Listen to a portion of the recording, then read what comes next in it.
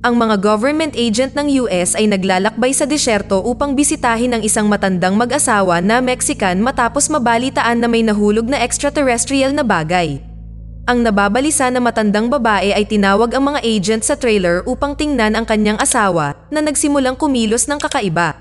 Matapos suriin ang antas ng radiation sa kanilang tahanan, tinanggal ng mga lalaking nakaitim ang kanilang mga gas mask at nagpatuloy sa panayam sa matanda. Habang nakatingin sa malayo, paulit-ulit niyang inuulit ang mga salita tungkol sa muling pagsilang, pagkatapos ay ibinoling ang tingin sa isa sa mga agent at naglagay ng krus sa kanyang mga kamay. Lumalabas na bulag ang lalaki sa kabuuan, ngunit sa hindi malamang dahilan ay bigla na lang bumalik ng ganap ang kanyang paningin. Ang mga nagtatakang agent ay walang mahanap na dahilan o mga pahiwatig na bagay sa lugar ng crash site kaya dinala nila ang matanda sa kustodiya para sa karagdagang pagmamasid sa kanyang kalagayan. Samantala, ang isang mekaniko ng sasakyan na nagngangalang David Chamberlain ay dumaranas ng mga paghihirap sa kanyang buhay. Ang kanyang pinakamamahal na asawa na si Jane ay pumanaw na pagkatapos ng mahabang pagkakasakit, naiwan siyang mag-isa kasama ang kanyang anak na si Annabelle. Dahil sa kakulangan ng mga customer, ang pagawaan kung saan nagtatrabaho ang lalaki ay nasa bingit ng pagkalugi. Ginagawa ni David ang kanyang makakaya upang mapanatili ang kanyang trabaho para sa kapakanan ng kanyang anak na babae at nag-alok sa kanyang boss ng mga opsyon kung paano makakaahon sa krisis, ngunit ayaw niyang makarinig ng anuman. Si Zack, na isang veterano sa digmaan mula sa digmaan na kasalukuyang nagaganap sa Iran, ay pumasok sa shop na naghahanap ng trabaho. Sa kabila ng pakiusap ng lalaki na bigyan siya ng pagkakataon, napilitan si David na tanggihan siya. Sa gabi, pumunta si David sa isang bar upang lunurin ang kanyang mga problema sa pag-inom ng alak. Ginugugol din ni Zack ang kanyang oras sa parehong bar sa pakikinig sa isang ulat tungkol sa sagupaan ng militar sa Iran. Ang isa sa mga lokal na lasing ay nagsasalita ng hindi maganda tungkol sa hukbong Amerikano. Sa panonood lamang ng TV, nasisigurado niyang mas mahusay siya sa kanila sa larangan ng digmaan. Nairita si Zack sa kanyang pag-uugali kaya hinamon niya sa isang labanan ang siga. Kasama ang isang grupo ng iba pang mga thugs, ang siga ay nagsimulang bugbugin ang sundalo sa parking lot, ngunit si David ay tumulong para kay Zack. Huminto ang laban sa sandaling mapunit ng isa sa mga umaatake ang prosthetic na binti ni Zack. Nagkalat ang mga palaboy, ayaw nilang makipag-away sa lalaking may kapansanan. Ibinalik ni David ang prosthetic na binti ni Zack at dinala siya sa rehabilitation center ng mga war veteran. Sa daan, Ipinapahiwatig niya sa lalaki na hindi mababago ang anuman sa pamamagitan ng pagsali sa mga walang kabuluhang away. Gayunpaman, tumalikod si Zack at tinawag ang mekaniko na hindi makaintindang tanga. Nasisiguro ng lalaki na hindi maiintindihan ng mekaniko kung ano ang pakiramdam ng mawala ang lahat at walang kinabukasan. Pag-uwi ni David, nakakita siya ng birthday cake sa mesa na maingat na inihanda ng kanyang anak na si Annabelle. Sinabi ng batang babae sa kanyang ama na siya ay huminto sa kolehiyo at planong manatili sa kanya. Sinimulan ng lalaki na pag-alitan ang kanyang anak na babae. Iniisip na siya ay huminto dahil sa isang kasintahan o isang teenage crisis, ngunit ang dahilan ay iba. Inamin ni Annabel na hindi natuloy ang kanyang huling dalawang bayad at napilitan siyang umuwi mula sa kolehiyo.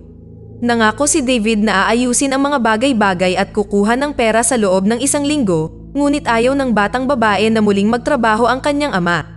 Nag-aalala ang lalaki na hindi niya mabibigyan ng magandang kinabukasan ang kanyang anak na tulad ng gusto ng kanyang ina. Nananatiling mag-isa sa mesa, malungkot siyang tumitingin sa relong ibinigay sa kanya ni Annabel kasama ang kanyang huling pera. Naiinis, gusto ni David na malasing, pero sa kabutihang palad, naubos na lahat ng alak sa bahay. Nagpa siya ang mekaniko na mag-restock at pumunta sa tindahan sa kalagitnaan ng gabi. Sa kanyang pagbabalik, napansin niya ang isang matingkad na bola ng liwanag sa kalangitan na mabilis na bumagsak sa lupa. Dahil sa sorpresa, nawalan ng kontrol si David at ang kanyang sasakyan ay bumagsak sa isang kanal. Maya-maya, nagising siya sa nasirang sasakyan. Ang lahat ng bagay sa paligid niya ay naiilawan ng mainit na liwanag ng nahulog na extraterrestrial na bagay. Bigla niyang napansin ang anino ng isang babae na kumikislap sa mga puno sa unahan niya. Mukhang pamilyar at mahalaga ito kay David. Sa kabila ng kanyang malubhang sugat, bumangon siya at naglakad na sinusundan ang anino. Pagkagising kinabukasan, nalaman ni Annabel na hindi pa umuuwi ang kanyang ama simula noong nakaraang gabi. Naramdaman ng batang babae na may nangyaring masama at tumawag siya ng pulis para simulan agad ang paghahanap sa kanyang ama. Gayunpaman, tumanggi ang sheriff na ideklarang nawawala si David hanggang sa lumipas ang kinakailangang 24 na oras. Ang nababagabag na si Annabel ay hindi makapaghintay ng ganoon katagal at pumunta sa pinagtatrabahuan ng kanyang ama. Ang may-ari ng car repair shop na si Ned Wilcox ay walang alam tungkol sa kinaroroonan ni David at hindi partikular na nag-aalala tungkol sa kanyang kapalaran. Ipinagpatuloy ng dalaga ang kanyang paghahanap at nakita niya ang tumaob na sasakyan ng kanyang ama sa gilid ng kalsada malapit sa isang maliit na kagubatan bago maggabi. Hinanap niya siya hanggang hating gabi at ginalugad ang kagubatan. Hindi nagtagal ay naubos ang baterya sa kanyang flashlight at napilitan siyang bumalik sa sasakyan. Ang batang babae ay umiiyak dahil sa kawalan ng kakayahan dahil ang bawat minutong lumilipas para sa kanyang ama ay mahuli ang lahat. Nang huminahon, pinaandar ng batang babae ang kotse at sa pagkamangha ay nakita si David na naiilawan ng mga headlight na nanggaling mula sa kakahuyan. Dinala ni Annabel ang kanyang ama sa ospital kung saan binigyan siya ng doktor ng ilang nakakagulat na balita. Sa hindi malamang dahilan, si David ay may dalawang gumaganang kidney, bagaman Batay sa mga medikal na record, ang isa sa mga ito ay nailipat sa kanyang asawa noon. Ipinahihiwatig sa atin ng pelikula na ang tinanggal na kidney ay hindi tinanggap ng katawan ng kanyang asawa at nagresulta ito sa kanyang pagpanaw. Nagising si David na may kakaibang pakiramdam sa loob. Habang pauwi, pinag-iisipan niya ang araw at nag-flash pabalik ang kanyang isipan sa kanyang yumaong asawa na naghihintay sa kanya sa tabi ng mataas na puno. Lumabas siya sa bakuran at umupo sa rocking chair kung saan ginugugol ni Jane ang kanyang oras. Sinusubukan niyang alalahanin ang mga pangyayari noong nakaraang gabi at unawain kung ano ang nangyari sa kanya pagkatapos ng aksidente. Naalala ni David ang paghabol sa isang babaeng silhouette at nahulog sa isang crater sa tabi ng binagsakan ng meteorite. Ang alien object ay hugis itlog at nagbubuga ng magandang asul na liwanag. Nang mawala ng malay ang lalaki, nagsimulang gumapang sa kanya ang mga maninipis na galamay mula sa meteorite. Sa hapunan, nag-aalalang sinabi ni Annabel sa kanyang ama na kinakausap niya ang kanyang ina habang siya ay walang malay. Pagkatapos siyang bigyan ng mga salita ng pampatibay loob, humiga siya sa kama. Si David ay patuloy na nanonood ng balita na nagbo-broadcast ng pagtaas ng tensyon sa mga bansa. Ang Russia, China, at France ay nagbabanta sa paghihiganti laban sa pagtatangka ng US na salakayin ang Afghanistan. Matapos itong marinig, ang lalaki ay nag-aalalang tumingin sa labas ng bintana. Tila natatakot siya sa posibleng paglala ng salungatan dahil ang hinaharap ng kanyang anak na babae at ang mundo ay maaaring nasa panganib. Bigla niyang narinig ang boses ng babae na tumatawag sa pangalan niya. Nang sagutin niya ang tawag, nakita niya ang kanyang pinakamamahal na asawa at sumugod sa mga bisig nito. Sa kanyang pangitain, ipinakita ni Jane sa kanyang asawa ang mga piraso ng mga kaganapan mula sa hinaharap kung saan ang isa ay nasangkot sa nuclear explosion. Matapos mamulat, nagpa siya si David na huwag mag-aksaya ng isa pang minuto at pumunta sa garahe upang ilagay sa papel ang blueprint na nakita niya. Ang lalaki ay kumbinsido na ang alien object ay nagpapadala sa kanya ng mga pangitain sa pamamagitan ng kanyang asawa at siya lamang ang makakapagligtas kay Annabel mula sa paparating na panganib. Samantala, ang mga agent ng gobyerno ay nakikipagtalo sa kanilang supervisor tungkol sa kahalagahan ng paghahanap at pagsasaliksik ng mga extraterrestrial na bagay. Naniniwala sila na ang mga alien na bato ay maaaring magkaroon ng malaking epekto sa sangkatauhan at maaaring wakasan ang lahat ng mga salungatan sa militar magpakailanman. Hindi sinusuportahan ng nakakataas ang kanilang mga ideya dahil kumbinsido siya na ang patuloy na digmaan sa Iran ay kinakailangan para mabawi ang ekonomiya ng bansa. Ang mga karagdagang aksyon ni Stipe ay nagpapahiwatig na wala siyang intensyon na sumuko sa salungatan para sa kapayapaan sa mundo. Kalaunan ay nalaman niya mula sa isang propesor na ang mga alien specimen na natagpuan ay hindi nakaligtas. Maaring magtagal ang paghahanap ng mga bagong buhay na specimen, kaya inutusan ng agent ang propesor na magsagawa ng autopsy sa matandang Mexican na kinuha nila kanina para sa pagsasaliksik. Sinabihan ni Stipe ang kanyang nasasakupan na ipaalam sa asawa ng matanda na ang kanyang minamahal ay namatay mula sa nakamamatay na virus. Nangangatwiran siya na ang isang sapilitang sakripisyo ay walang kabuluhan kumpara sa mga sundalong Amerikano na nagbubuwis ng kanilang buhay araw-araw sa Iran. Kinabukasan, hinanap ni David ang lumang kotse ng kanyang asawa sa garahe at bumalik ang masasakit na alaala ng kanyang minamahal. Habang walang nakatingin kay Annabel, muli niyang pinanood ang mga lumang videotape kung saan masaya ang kanyang pamilya at nag enjoy sa bawat sandali na magkasama. Mukhang sinusubukan lang ni Annabel na maging matatag sa mata ng kanyang ama pero miss na miss na rin niya ang kanyang ina. Samantala, sa rehab center, pinag-uusapan ni Zack at ng kanyang kaibigang veterano na si Jim O'Malley ang tungkol sa mga labanan na isinasagawa ng kanilang bansa. Sa kabila ng pagkaputol ng kanyang lower limb, naiinis si Jim sa kawalan ng aksyon at gustong bumalik sa frontline bilang kapalit ng mga batang napili. Si Zack ay hindi katulad ng kanyang sigasig dahil siya ay nagkaroon ng kanyang makatarungang karanasan sa digmaan. Ang kanyang desisyon ay madaling maunawaan. Matapos siyang malumpo, ginamit lang siya ng sistema at itinapon. Sa kabila ng kanyang mga nagawa, lahat ay walang silbi kanino man at ngayon na isang baldado ay hindi nakarapat dapat kahit na manirahan sa sibilisadong lipunan. Sa kabutihang palad para kay Zack, pumunta si David sa rehab center upang mag-alok sa kanya ng trabaho. Ang dating militar ay sumang-ayon ng walang pagdadalawang isip at silang dalawa ay nagmaneho papunta sa kakahuyan. Hiniling ni David kay Zack na hintayin ang kanyang hudyat at pumunta siya sa crash site ng extraterrestrial na bagay at natuklasan na nagsimulang tumubo ang damo sa paligid nito. Nagpupumilit silang ikarga ang alien object sa kotse. Biglang inalis ni Zack ang kanyang kamay dahil sa pagkamangha, nakaramdam ng kakaiba sa kanyang paghawak sa meteorite. Habang wala ang kanyang ama, nagpa siya si Annabel na suriin ang mga gamit ng kanyang ina upang dalhin sa barn o ibigay sa charity.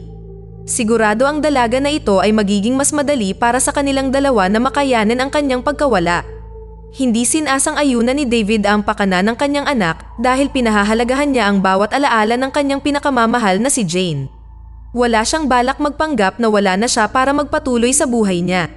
Nagising si Zack sa kalagitnaan ng gabi na may matinding sakit sa kanyang naputol na binti. Kinabukasan ay sinabi niya kay Jim ang tungkol dito, ngunit kumbinsido ang kanyang kaibigan na multo lang iyon. Nang umagang iyon, lumabas ang lahat ng mga pasyente sa rehabilitation center upang magprotesta laban sa pagpapadala ng mga conscripts sa frontline para sa trabaho sa Afghanistan.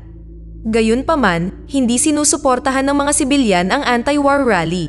Ang isa sa mga taong bayan ay dumura sa mukha ni O'Malley na tinawag ang dating mandirigma na isang taksil sa sariling bayan. Sa pagtatangkang suntukin ang lalaki, nahulog ang veterano sa kanyang wheelchair Gustong tulungan ni Zack na bumangon ang kanyang kaibigan ngunit natumba siya dahil sa napakasakit na pakiramdam sa kanyang binti.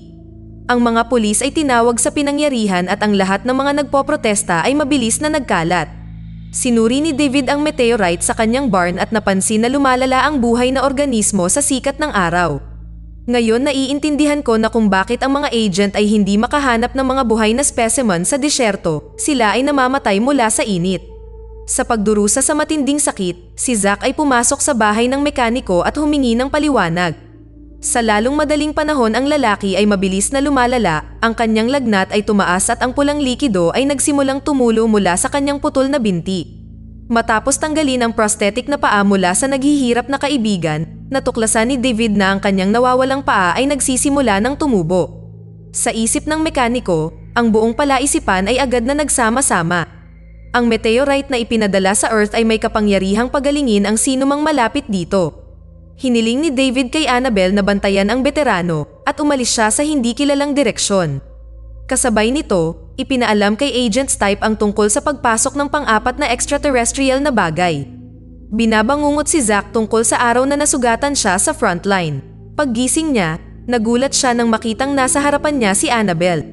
Sa gabi, umuwi si David at nang walang paliwanag, hiniling sa kanyang anak na tulungan siyang buhatin si Zack sa barn. Ibinaba niya ang veterano sa tabi ng meteorite at pinalamig ang extraterrestrial na bagay gamit ang kulang gas. Agad na inabot ng manipis na galamay si Zack at binalot ang braso nito.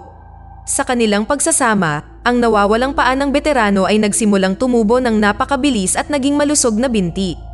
Aksidenteng nahawakan ni Annabel ang alien object. Pagkatapos nito ay bumagsak siya. Napanaginipan niya ang kanyang ina sa isang silid sa ospital na tinatawag si David.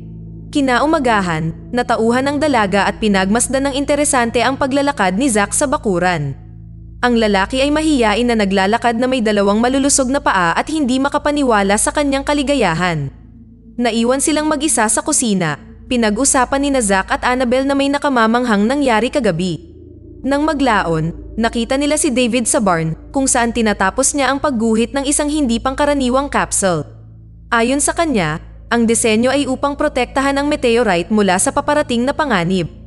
Nag-aalala si Annabel tungkol sa pagkahumaling ng kanyang ama sa extraterrestrial na bagay, ngunit hiniling niya sa kanyang anak na magtiwala sa kanya. Sinusuri ang mga blueprint ni David, napansin ni Zack na ang istruktura ay mangangailangan ng maraming metal plate. Nagsimulang kumilos ang mga lalaki at gumawa ng isang plano. Nakipag-inuman si David sa kanyang kaibigan sa high school na si Tony Cerilio sa isang bar hanggang sa siya ay mawalan ng malay. Pagkatapos, sa tulong ni Zack, ninakaw niya ang mga susi sa kanyang trabaho. Magkasama nilang ninakaw ang mga kinakailangang materyales at isang truck na panghalo ng semento mula sa amo ni Tony at dinala ang mga ito sa isang abandonadong pabrika. Dumating si Stipe at iba pang mga agent sa lugar ng binagsakan ng meteorite sa kakahuyan. Ilang maliliit na fragment ang natitira sa extraterrestrial na bagay. Ang lokal na sheriff na si Williams ay nagbigay sa mga agent ng tip tungkol kay David Chamberlain na nag-crash sa kanyang sasakyan malapit sa site ilang araw na ang nakalipas. Ang opisyal ay hindi naniniwala na nagkataon lang iyon at iminungkahi na ang mekaniko ang maaaring kumuha sa extraterrestrial na bagay. Matapos pag-aralan ang mga fragment ng meteorite, nakabuo ang mga siyentipiko ng isang nakakagulat na pagtuklas. Lumalabas na ang extraterrestrial object ay isang carrier ng DNA strands ng iba't ibang halaman at hayop, kabilang ang DNA ng tao. Ang hindi kapanipaniwalang natuklasan na ito ay isang halimbawa ng isang biogenesis at maaaring mahigitin ang ebolusyon ng sangkatauhan. Habang sina David at Zack ay binubuo ang istruktura para sa meteorite, binisita ni Annabel ang libingan ng kanyang ina sa sementeryo. Inamin niya na nahihirapan siyang hindi magkaroon ng negatibong damdamin para sa kanyang ama at patawarin ito sa tuwing mabibigo itong matupad ang kanyang pag-asa. Tinapos ng mga lalaki ang paggawa ng capsule at inilagay ang meteorite doon. Kasabay nito, nagpa siya si Annabel na wakasan ang kanyang kalunos-lunos na nakaraan at sunugin ang mga gamit ng kanyang ina. Hinarang ang dalaga ng mga agent ng gobyerno na pumunta sa kanilang bahay para hanapin si David. Pagbalik ng mekaniko, tinanong siya ng mga agent tungkol sa aksidente. Ngunit nagsinungaling ang mekaniko na hindi niya naaalala ang mga pangyayari noong gabing iyon. Si Agent Stipe ay nagsasabi tungkol sa hindi kapanipaniwalang kahalagahan ng misteryosong alien object sa sangkatauhan at kung paano ito makakatulong na mapigilan ang digmaan, ngunit hindi nabigla si David sa kanyang mga salita tungkol sa pagpapanatili ng kapayapaan sa planeta. Pagkatapos ay ipinaalam ni Stipe sa mekaniko na alam nila ang mahiwagang pagbabalik ng kidney sa kanyang katawan. Nagpakita rin sila ng larawan mula sa autopsy ng isang matandang lalaki na gumaling din matapos matagpuan ang isang alien object. Si David ay nakaisip kaagad ng isang bagong kasinungalingan at dinala ang mga agent sa kanyang barn. Inamin niya na itinago niya ang meteorite sa loob, ngunit sa paglipas ng panahon ang bagay ay natunaw lamang sa ilalim ng pagkakalantad sa panlabas na kapaligiran. Nang umalis ang mga agent, nagpa siya si Annabel na umapela sa katalinuhan ng kanyang ama. Natatakot siyang kunin siya ng mga agent para sa mga eksperimento at hilingin sa kanya na ibigay sa kanila ang gusto nila. Kumbinsido ang batang babae na ang meteorite ay may masamang epekto sa kanyang ama at nagiging sanhi ito upang mag-hallucinate tungkol sa kanyang yumaong asawa. Si David, gayon paman, ay kumbinsido rin. Ang alien object ay partikular na gumagamit ng imahe ni Jane upang bigyan ng babala ang tao tungkol sa paparating na nuclear disaster. Ang mga government agent ay hindi naniniwala sa mga kasinungalingan ni David at sinundan nila ito. Nang mapansin ito, hiniling ng mekaniko sa kanyang kaibigan na si Tony na tulungan siya at nawala siya sa paningin ng Secret Service. Sinabi ni Stipe kay Agent Lubinsky na akitin si David mula sa pagtatago sa tulong ng kanyang anak na babae. Samantala, ipinakita sa kanya ni Chief Tony ang surveillance footage ni David na nakuha noong gabi ng break-in. Inutusan niya ang kanyang nasasakupan na ibalik ang ninakaw o siya ay tatanggalin sa trabaho. Habang nagtatrabaho sa pagtatayo ng meteorite, naalala ni Zack ang nasugatan niyang kasamang si O'Malley. Ang digmaan ay nagbigay sa kanya ng walang magawa at ang lipunan ay tinanggihan siya at sinampal siya sa mukha. Gusto ni Zack na maibalik ang hustisya at bigyan ng pangalawang pagkakataon ang kaibigan, kaya bumalik siya sa rehabilitation center. Doon ay naghihintay na si Annabel sa kanya, ipinagtapat na nag-aalala siya sa kanyang ama dahil baka kunin siya ng mga agent ng gobyerno. Nangako si Zack sa babae na poprotektahan niya si David at isasama niya si Jim. Hiniling ng lalaki sa kanyang kaibigan na sumama sa kanya at ipinangako sa kanya ang mahimalang pagpapagaling. Ipinakita niya kay Jim ang kanyang binti, ngunit tinanggihan ng kanyang kaibigan ang kanyang tulong. Nang lumabas na ang bigong lalaki sa rehab center, banihag sila ng mga government agent sa utos ni Stipe. Samantala, nahanap ni Tony ang abandonadong pabrika kung saan itinago ni David ang meteorite capsule. Sinuri niya ang istruktura ng may pagtataka at humingi ng paliwanag mula sa kanyang kaibigan. Sinubukan ni David na pakalmeyan ang kanyang kaibigan, ngunit nagpa siya si Tony na tumawag ng pulis. Hindi pinapayagan ni David na makompromiso ang kanyang lihim. Sa isang galit na galit na tingin, sinugod niya ang kanyang kaibigan at hindi sinasadyang natumbe siya at nawala ng malay. Sa kabila ng kanyang ginawa, ang lalaki ay pumasok sa loob ng capsule kung saan ang buhay ay unti-unti nang nagsisimulang umunlad. Puno ng pagsisisi, muli niyang nakita ang imahe ng kanyang asawa. Ipinagtapat niya sa kanya na hindi siya karapat-dapat sa kaligtasan at kinumpirma niya iyon.